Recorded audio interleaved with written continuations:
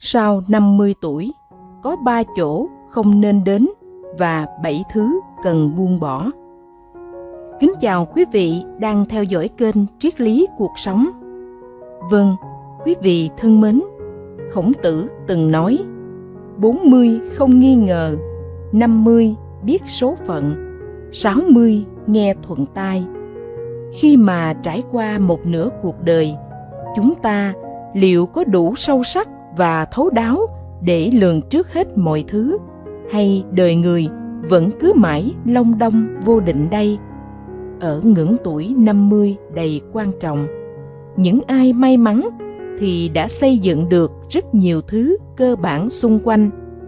Có thể là hoàn cảnh gia đình hoặc công danh sự nghiệp. Nhưng mà đây cũng là độ tuổi quá khó khăn. Nếu chẳng may để mất đi tất cả mọi thứ và phải làm lại từ đầu. Do đó, người ta lại càng phải đặc biệt cẩn trọng hơn khi đưa ra bất cứ một quyết định gì.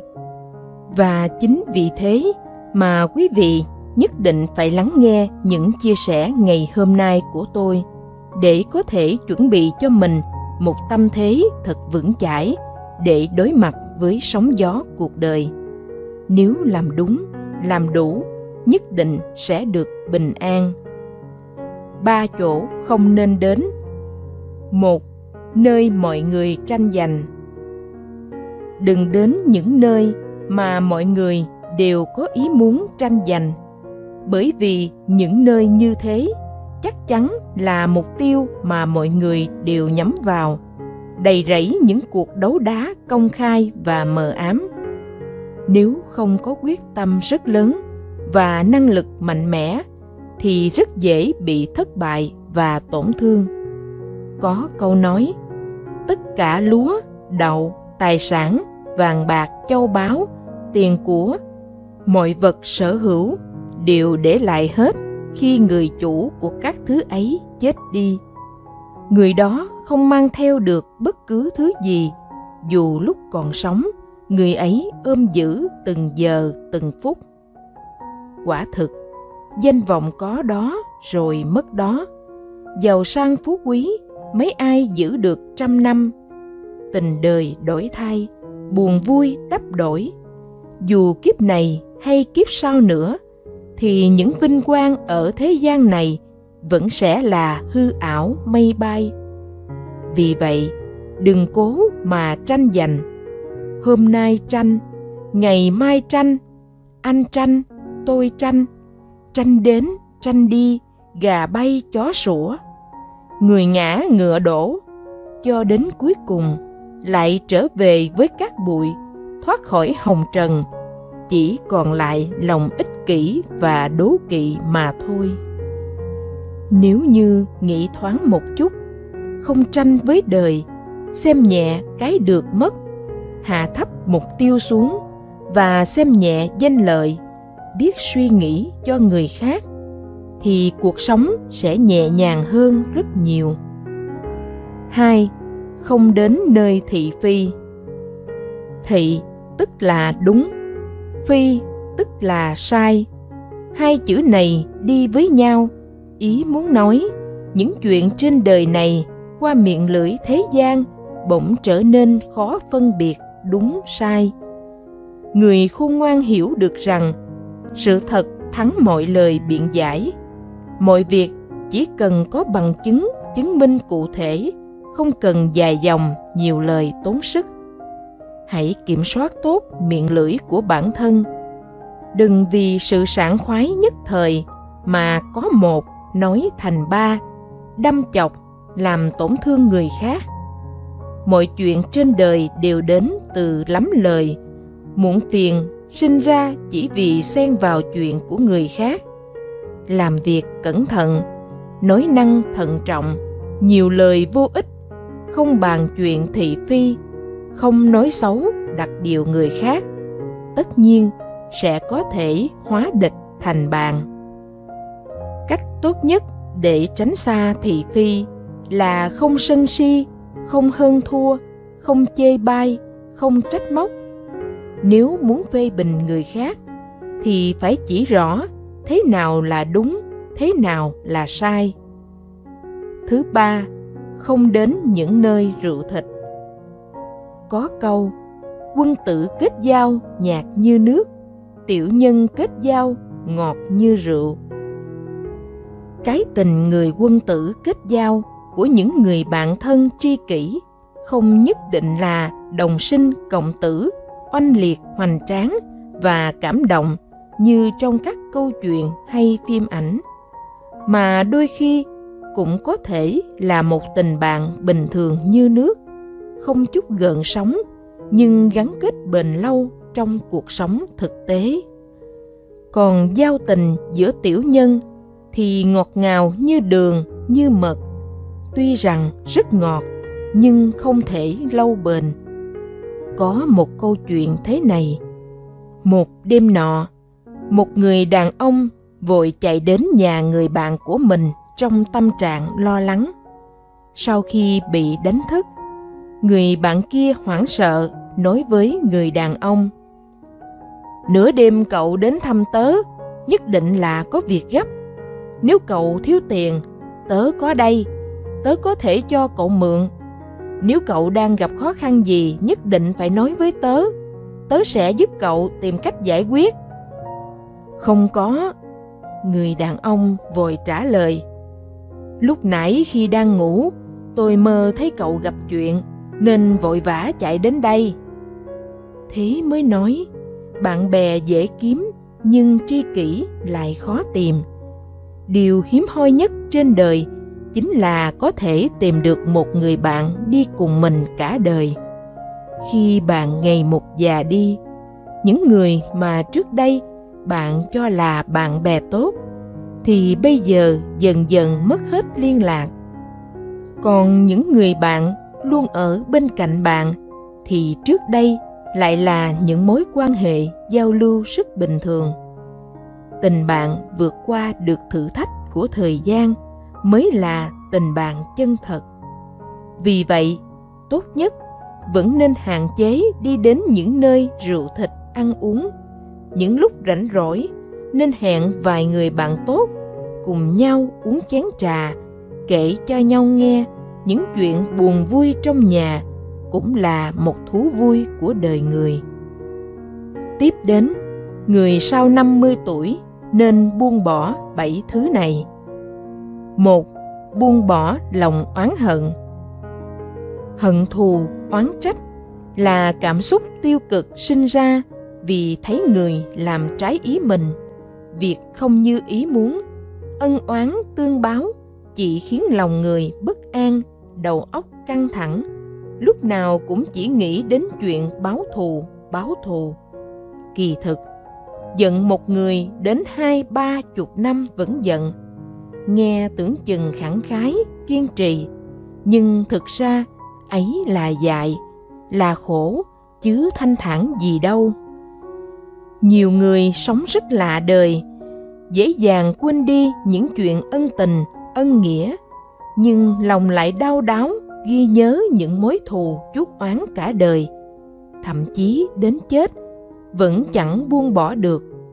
Điều ấy giống như đem một cục than hồng nắm mãi ở trong tay, cháy da, cháy thịt, cháy cả tâm can, chẳng thể nào buông nổi.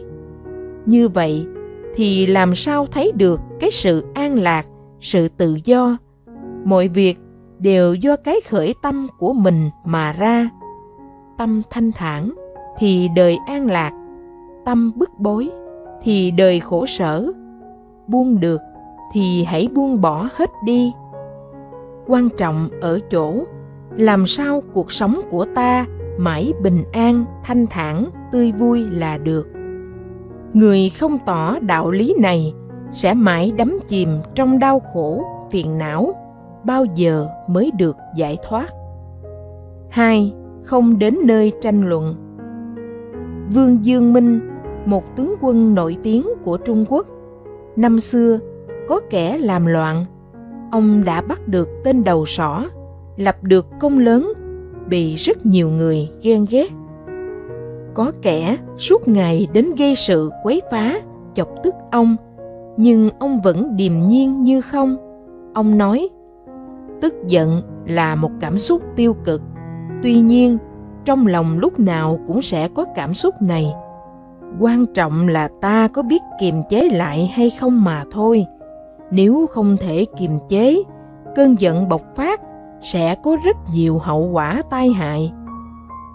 Muốn khống chế cảm xúc, một mặt phải chú ý tôi luyện từ những việc nhỏ nhặt bình thường, tập luyện từ những việc nhỏ đến việc lớn, nhìn từ nhiều phía trước khi quyết định. Có tập luyện hàng ngày, qua những việc nhỏ thì tâm lý mới vững chắc không còn cực đoan, cũng chẳng dễ mà tức giận. Dần dần, điều này sẽ trở thành khí chất trong mỗi người. Tranh cãi hơn thua là điều không nên có. Bạn luôn thích tranh cãi, phản bác. Cho dù bạn thắng trong cuộc tranh luận đó, nhưng lại không được thiện cảm của đối phương. Cách để giành được thắng lợi thực sự là không tranh luận bước qua tuổi 50 càng phải biết buông bỏ chọn cách nhượng bộ thỏa hiệp để tâm hồn cũng thanh thản và vui vẻ hơn 3. Chờ thời cơ Khi còn trẻ, người ta thường liều mạng vì sự nghiệp, bận rộn vì công tác. Đến trung niên, mỗi người đều nên thay đổi phương cách sống của mình, sống chậm hơn một chút. Đừng khiến cho bản thân bị áp lực quá lớn mà sinh ra tâm phiền, thân bệnh. Đối với những người trên 50 tuổi mà nói, không nên chờ đợi cái gọi là thời điểm tốt nhất nữa. Nên nghỉ hưu nên nghỉ ngơi nên đi du lịch. Muốn đi đâu làm gì được thực hiện được thì đi hết đi. Đừng ngồi đợi thời cơ nữa vì khi bước qua cái tuổi trung niên rồi, cuộc đời vốn đã rất ngắn ngủi, không còn quá nhiều thời gian để chúng ta chờ đợi nữa đâu. 4 không ăn uống thỏa thích. Chế độ ăn uống với người cao tuổi là vô cùng cần thiết, bởi ăn uống cùng với chế độ sinh hoạt, tập luyện là chiếc kiềng ba chân nhằm tăng cường sức đề kháng cho người cao tuổi. Tuổi càng cao thì nên nhớ chức năng của cơ thể càng suy yếu đi. Sự trao đổi chất cũng trở nên chậm hơn. Nếu còn ăn uống tùy tiện, không chỉ khiến cơ thể thể trạng tăng vọt, mà còn gây ra rất nhiều vấn đề về sức khỏe. Phương pháp để có một sức khỏe tốt rất đơn giản chỉ cần duy trì cân bằng chế độ ăn lành mạnh và quy luật vận động hợp lý. 5. Lấy lòng mọi người. Trong cuộc sống này, chúng ta luôn hy vọng được người khác chấp nhận và yêu thích ngoài ăn nói khéo léo ra cũng khó tránh sẽ dùng một số kỹ xảo để khiến người khác yêu thích mình hơn đặc biệt là trong xã hội đâu đâu cũng có, cũng cần mối quan hệ quen biết. Nhưng sau khi bước qua tuổi 50 cũng là lúc nên từ bỏ suy nghĩ đi lấy lòng người khác. Tuy là có nhiều lúc muốn nói không thực sự rất khó, nhưng cuộc đời là của riêng mình, không còn quá nhiều thời gian để đi lấy lòng cả thế giới nữa đâu. Nếu ai đó thù ghét cay độc, mỉa mai, chế giễu bạn. Hãy luôn nhớ rằng, trong miệng người khác, bạn không phải là con người bằng xương thịt. Vậy tại sao bạn còn phải thấy thống khổ, còn phải thấy mất mặt vì những lời đàm tiếu xung quanh? Cây ngay, không sợ chết đứng. Người quân tử thường để ngoài tai những lời ong tiếng ve của kẻ tiểu nhân. Dĩ bất biến ứng vạn biến, nghĩa là lấy cái bất biến của tâm mà ứng xử với cái biến hóa của cuộc đời này. Chỉ cần giữ được đỉnh cao phong thái, mọi sự tình bên ngoài đều không thể làm khó. Sống tự tin, khẳng khái, hướng thiện, bao dung, rồi bạn sẽ có được tất cả những gì bạn có. Rồi bạn sẽ chẳng phải nhờ vả, cày cục, núp bóng ai. 6. Nói xấu người khác Tục lệ lấy câu chuyện làm quà, khiến người ta luôn muốn chuẩn bị cho mình thật nhiều câu chuyện mà đa số là câu chuyện về người khác, và ai cũng muốn chuyện của mình thật hay, thật độc lạ muốn vậy, người ta không chỉ cần sống phần mình, mà rảnh rỗi còn phải nhòm ngó, nghe ngóng, thu thập chuyện lạ bốn phương. Và đôi khi, cần phải sáng tạo thêm phần kịch tính, đậm đà. Thói và miệng cũng từ đây mà sinh ra. Có một câu danh ngôn rằng, hãy cứ đứng sau lưng người khác suốt đời, nếu bạn chỉ là một kẻ nói xấu. Khi bạn đang mải mê làm cái bóng của họ, thì họ đã rất nhanh chóng tìm thấy được cái đích của mình. Đến tuổi 50 cũng là lúc đã hiểu mọi lẽ đời. Thay vì mất thời gian nói xấu người khác khiến cho bản thân bực bội, hãy mở rộng lòng mình. Nếu có thể thì im lặng bỏ qua. Nếu việc hệ trọng thì hãy nhẹ nhàng chỉ ra khuyết điểm cho đối phương để họ sửa chữa làm được như vậy bạn quả đáng khâm phục độ lượng khoan dung với người khác chính là tạo phúc cho mình 7. Theo đuổi hư vinh Thói hư vinh gắn liền với lòng tự cao. Người nào càng thích hư vinh thì lòng tự cao càng lớn, càng muốn mình có địa vị nổi bật trong xã hội nhưng sở dĩ gọi là hư vinh bởi vì nó là thứ phù vân hảo huyền không phải là niềm vinh dự thực chất do cần cù lao động mà dựng nên. Hư vinh thực chất là một hình thức lừa người, lừa mình. Bởi vì không có, nên mới cố gắng thể hiện, nỗ lực cả một đời chỉ để nhận được sự ngưỡng mộ của người khác. Đến cuối đời, mọi thứ cũng hóa hư vô. Người thực sự có tất cả là người không khoe khoang không làm nô lệ cho vật chất phù phiếm. Sống một cuộc đời mới thanh thản và ý nghĩa. Bước sang tuổi 50 chính là thời cơ tốt của cuộc đời để thay đổi quan niệm. Đừng theo đuổi hư vinh danh tiếng phù phiếm, bởi giàu có, nhiều quyền lực cũng không thể mua được cái gọi là hạnh phúc đích thực. Nhìn con cái vui vẻ trưởng thành có thể làm cuộc sống trở nên ngập tràn tình yêu. Ai nhìn thấy bạn cũng phải nở nụ cười. Đó mới là giá trị của cuộc sống này.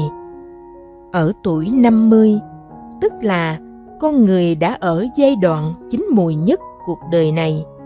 Khi mà thành công và vinh quang mang đến nhiều niềm hạnh phúc thỏa mãn, thì đồng thời nó cũng kéo ta đến nhiều gánh nặng lực. Nhưng chúng ta đều có thể bình thản đối mặt. Bởi ở độ tuổi này, chúng ta đã thấu hiểu xã hội, bản chất cũng biết làm thế nào để sống một cuộc đời tràn ngập màu sắc trong một khoảng thời gian hữu hạn ngắn ngủi này. Hãy nhớ, ba chỗ không nên đến và bảy loại tâm thái không nên có mà tôi chia sẻ để có thể sống được bình an, hạnh phúc trong chặng đường còn lại của cuộc đời quý vị nhé. Cảm ơn quý vị đã luôn coi chương trình của chúng tôi là người bạn tâm giao. Hẹn gặp lại quý vị ở những video tiếp theo.